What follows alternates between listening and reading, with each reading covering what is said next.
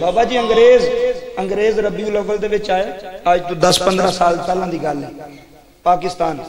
ਤੇ ਜਾ ਕੇ ਉਹਨਾਂ ਇੰਟਰਵਿਊ ਲਿਆ ਕਿ ਤੁਸੀਂ ਪਾਕਿਸਤਾਨ ਵਿੱਚ ਕਿਹੜੀ ਚੀਜ਼ ਕੋਈ ਨਵੀਂ ਵੇਖੀ ਹੈ? ਪਿੰਡੀ ਪਾਗਵਾ ਲਿਆ ਕੈਮਰਾ ਰਿਕਾਰਡ ਕਰ ਰਿਹਾ ਆਪਣੀ ਗੱਲ ਦਾ ਜ਼ਿੰਮੇਦਾਰ, ਜੁਮਲੇ ਸੁਣਿਆ ਜੀ। ਕਿਹੜੀ ਚੀਜ਼ ਤੂੰ ਵੇਖੀ ਉਸ ਅੰਗਰੇਜ਼ ਦਾ ਸੁਣਿਆ ਜੁਮਲਾ। ਤੇ ਖੁਸ਼ ਹੋ ਜਾਏ। ਉਹਨੇ ਆਖਿਆ, ਮੈਂ ਹੋਰ ਤੇ ਕੁਝ ਨਹੀਂ ਵੇਖਿਆ। ਜੂੰ ਹੀ 12 ਰਬੀਉਲ ਅਵਲ ਦਾ ਚੰਨ ਚੜਿਆ ਨਾ।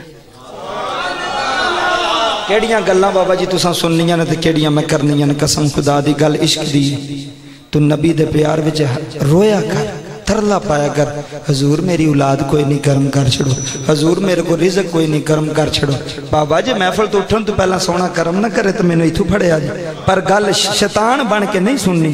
गल रहमान का बंदा बन के सुननी है कि सोना मैनू वेख रहा है मदीने वाल। उन्हें आख्या तू वेख। उन्हें जू ही रबी चढ़ देना ਤੇ ਮੈਂ ਉੱਥੇ ਇੱਕ ਚੀਜ਼ ਵੇਖੀ, ਜਿਹੜਾ ਸਭ ਨਾਲੋਂ ਗਰੀਬ ਬੰਦਾ ਹੈ ਨਾ, ਉਹਨੇ ਵੀ ਆਪਣੀ ਹਸੀਅਤ ਤੋਂ ਵੱਧ ਕੇ ਆਪਣੇ ਨਬੀ ਦੇ ਆਉਣ ਦੀ ਖੁਸ਼ੀ ਕੀਤੀ ਹੈ।